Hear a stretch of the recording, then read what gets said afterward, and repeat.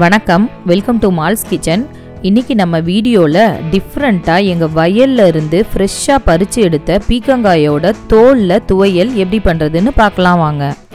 இந்த மாதிரி மேலும் பல வீடியோக்கள் பார்க்க இந்த சேனலை சப்ஸ்கிரைப் பண்ணிக்கோங்க.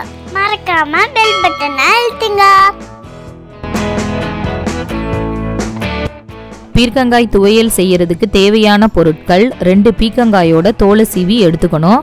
ஒரு அரை நெல்லிக்காய் சைஸ் அளவு புளி ஒரு ஸ்பூன் கடலைப்பருப்பு ஒரு ஸ்பூன் உளுந்தம்பருப்பு உப்பு தேவையான அளவு நாலு வரமிளகாய் ஒரு கப் துருவுன தேங்காய் ரெண்டு ஸ்பூன் எண்ணெய்.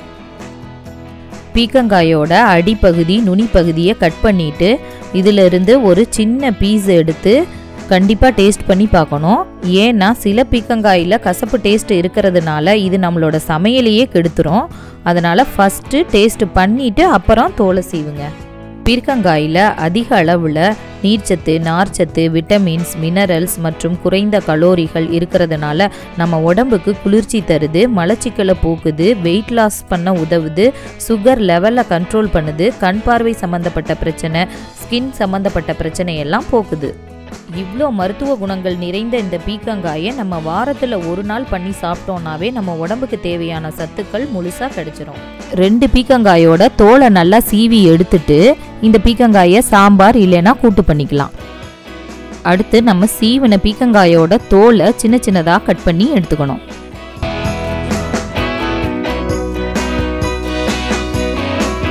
முத்தல் இல்லாத இளம் பீக்கங்காய் தோலில் இந்த துவையல் பண்ணோன்னா இதோட டேஸ்ட் ரொம்ப சூப்பராக இருக்கும். இப்போ துவையல் எப்படி பண்ணுறதுன்னு பார்க்கலாம். கடாய் ஒன்று அடுப்பில் வச்சு நல்லா சூடானோன்னு ரெண்டு ஸ்பூன் எண்ணெய் எண்ணெய் நல்லா சூடானோன்னு ஒரு ஸ்பூன் கடலைப்பருப்பு ஒரு ஸ்பூன் உளுந்தம்பருப்பு சேர்த்து நல்லா பொன்னிறமாகிற வரைக்கும் வறுத்துக்கணும்.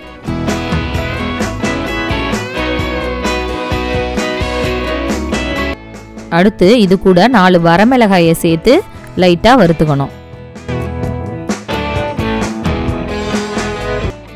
அடுத்து நம்ம சின்ன சின்னதாக கட் பண்ணி வச்சுருக்க இந்த பீக்கங்காயோட தோலை சேர்த்து இந்த எண்ணெயில் கொஞ்சம் நல்லா வதக்கிக்கணும்.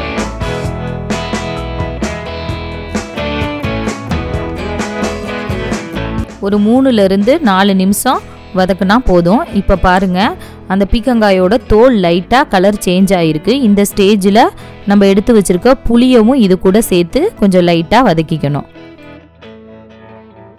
கடைசியாக இது கூட நம்ம துருவி வச்சுருக்க ஒரு கப் தேங்காயை சேர்த்து நல்லா வதக்கிக்கணும்.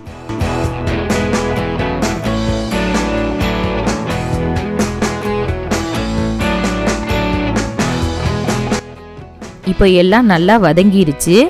இப்போ இந்த ஸ்டேஜில் நம்ம ஸ்டவ்வை ஆஃப் பண்ணிவிட்டு இதை நல்லா ஆற விடணும். அடுத்து ஆறின பொருட்களை எல்லாம் மிக்சியில் சேர்த்துட்டு இதுக்கு தேவையான அளவு கொஞ்சம் உப்பு சேர்த்து தண்ணி விடாமல் ஃபஸ்ட்டு அரைச்சிக்கணும்.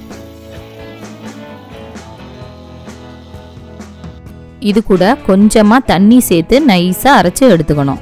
இனிமே எல்லாரும் பீக்கங்காயோட தோலை வீணாக்காமல் இந்த மாதிரி துவையல் பண்ணி சாப்பிடுங்க. அதிக மருத்துவ குணங்கள் நிறைந்த ரொம்ப சுவையான பீர்க்கங்காய் துவையல் தயாராயிடுச்சு. இந்த வீடியோ பிடிச்சிருந்தா லைக் பண்ணுங்க மறக்காம ஷேர் பண்ணுங்க.